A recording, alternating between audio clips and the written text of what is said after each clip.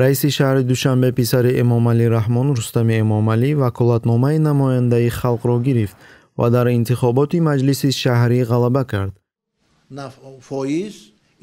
Раиси бисту панҷуми ҳавзаи интихоботӣ абдулло холиқов гуфт ки гӯё ба рустами эмомалӣ 84 фоиз интихобкунандагон овоз доданд мушоҳидон қайд мекунанд ки бо ин тариқ президент раҳмон кӯшиш дорад то дар назари ҷомеа тасвире пайдо кунад ки ҳукумат дар кишвар қонунист ва аз тарафи шаҳрвандон дастгирӣ карда мешавад. Инчунин пешбинии пешравии мартабавии рустами эмомалӣ низ гуфта мешавад.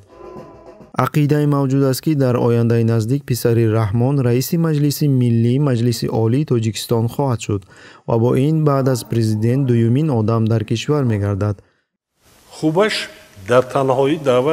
ба ҳеҷ кас пӯшида нест ки тибқи нақшаи раҳмон дар оянда писараш мансаби президентиро аз падараш ҳамчун мерос қабул хоҳад кард. Мебинем